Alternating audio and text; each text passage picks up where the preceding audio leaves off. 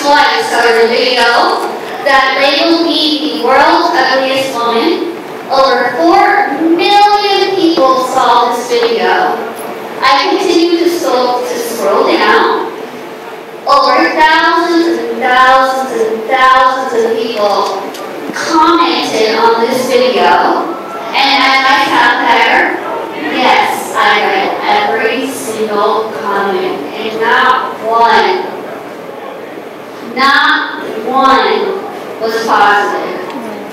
People were giving me advice on how to kill myself. Oh my god. They were saying, why didn't your parents abort you because you're going to be so ugly? People were saying, Lizzie, when you look in the mirror, how do you not know why for your ugliness? I, of course, cried my eyes out, and I read each comment as if somebody was physically and punching me. But then I cried, and those tears turned into anger. And that anger turned into, you know what? I'm not gonna let those bullies define my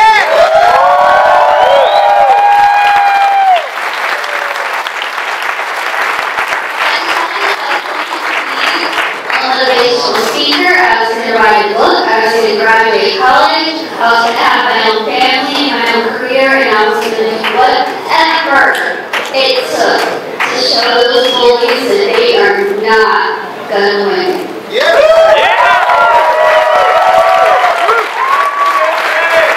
I'm proud to say I'm doing my eighth year of professional motivational speaking. My first year of college, I published my first book called Lizzie Beautiful. My second year of college, I published my second book called Be Beautiful Be You. And I'm currently working on my third book.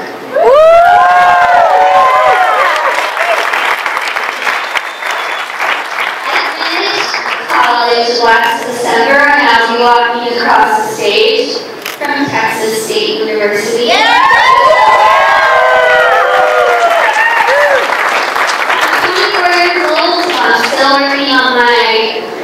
so I'll be if you want to talk.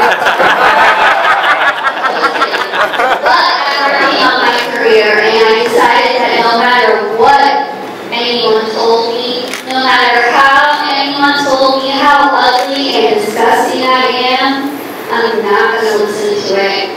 God made me the way I am for a reason, and I am proud.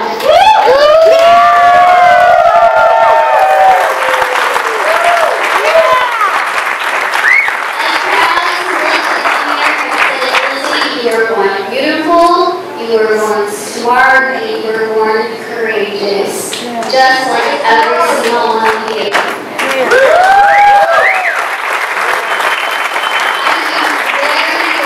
I'm very, very proud to be a part of the Friend Movement, and I hope every single one of you in here will do whatever you can to join this amazing movement to help people like me. Yeah!